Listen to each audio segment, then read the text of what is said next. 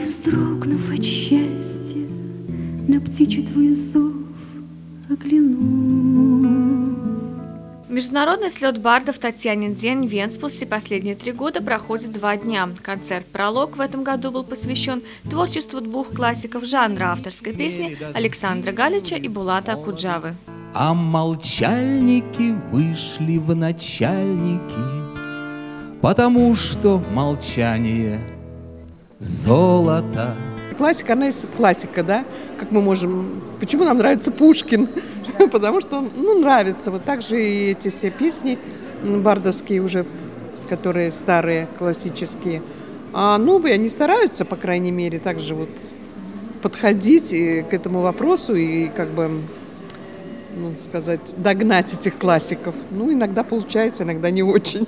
Тогда было больше романтики, а сейчас больше материализма.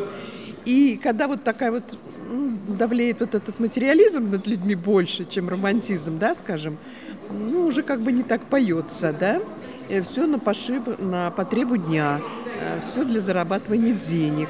А бардовская песня, вот эти все фестивали, они как бы от души идут, да, и то есть они ну, не приносят никакого дохода. А у нас сейчас принято все вот шоу-бизнес, да, все, чтобы доход давало. Мне кажется, поэтому стало их меньше. И вот люди, соскучившись, стараются попасть туда, где все-таки эти вот фестивали каким-то образом организовываются. Так мы у классиков учимся, поэтому всегда трудно петь песни классиков. Гораздо легче петь то, что еще не стало классикой. Поэтому у классиков мы учимся, и обязательно нужно это делать. Иначе ни, никоим образом не поднимется уровень э, исполнения и уровень понятия, что такое бардовская песня. В большинстве случаев случай вдохновляет. Это чисто случайно происходит, э, когда что-то увидишь, что-то подметишь или кто-то на ногу наступит. Обязательно происходит какая-то, какой-то всплеск и выплеск энергии, она выливается в песню. Это может быть и песня минорная, и мажорная. Чем же это вы думали? Что же это вы сделали? Вы в спокойствии тонете, но когда дурить бросите, вы его еще вспомните, вы о нем еще спросите. Песни на концертах слета в основном звучат на русском языке, но каждый год организаторы приглашают участвовать бардов, которые пишут на других языках. За эти годы в концертах звучали песни на немецком, польском, украинском, белорусском языках и, конечно, на латышском. В этом году в жанре авторской песни дебютировала Гинта Руса, чья творческая жизнь связана с классической музыкой. Гинта руководит Венспилским хором Кайва. В бардовской песне очень важен текст. Он первичен. Когда текст тебе близок, близок твоим горестям или наоборот радостям, ты выбираешь эту песню.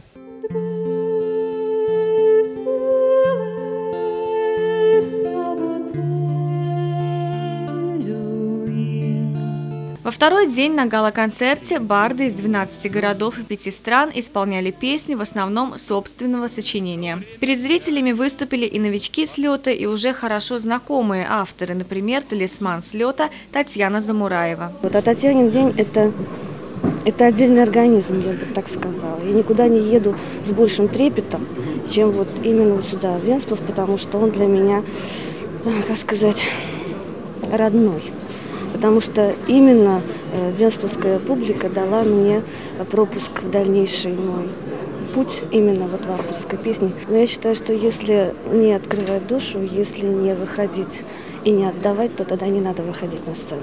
Все талантливое, все красивое, все, что связано с гармонией э, звуков, э, мне доставляет удовольствие. Поэтому я сижу, радуюсь, э, принимаю вот этот праздник и сожалею, что рядом со мной нет маленькой внучки, которая бы тоже испытала сегодня восторг от того, что видит и слышит. Нравится вообще, что люди сами сочиняют, сами исполняют. Вот это самое главное. Ну, начало мне понравилось вот, с Высоцкого.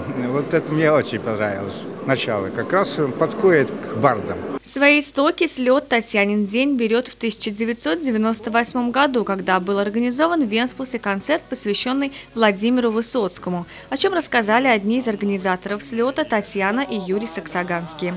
Их семья создалась непосредственно благодаря бардовской песне. Были открыты двери, люди стояли в коридорах, было жарко. В общем, И мы поняли, что этот жанр нужен и что надо организовывать. Нас соединило искусство. совсем. да, Нас соединила песня, но не бардовская. Да, потому что я приехала сюда, я играла на балалайке в оркестре народных инструментов, а барды венспилские пришли выступить перед нами, а я из Даугавпилса.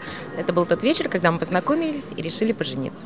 Пока международный слет бардов Татьянин день ограничивался одним концертом, он проходил с неизменным аншлагом. С того момента, когда фестиваль стал проходить в два дня, мы стали делать два концерта, вот уже в третий раз.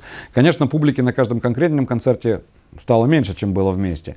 Но э, в целом, если сложить публику, которая пришла к нам в Парвинскую библиотеку на концерт «Пролог» и на гала-концерт, то это не меньше, даже несколько, может быть, больше, чем бывало на отдельных фестивалях.